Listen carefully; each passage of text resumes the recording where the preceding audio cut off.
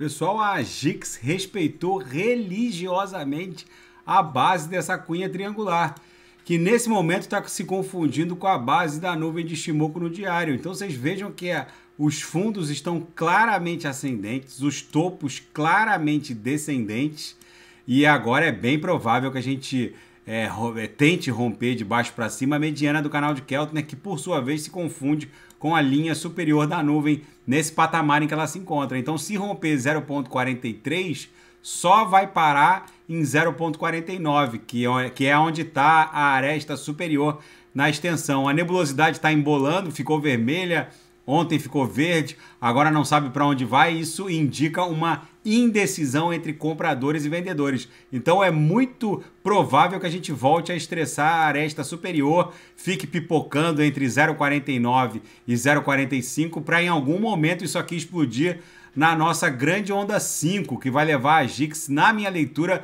para um patamar no mínimo até 0,85. Então isso aqui ficou uma onda 1, lateralizou de forma triangularizada, numa onda 2, depois explodiu numa onda 3, lateralizou num triângulo que seria a nossa onda 4, isso aqui provavelmente vai ser nossa onda 5. Daqui a pouco eu volto com Binance Coin, Atom e quem quiser sugerir, é só colocar nas mensagens abaixo. Grande abraço, até daqui a pouco.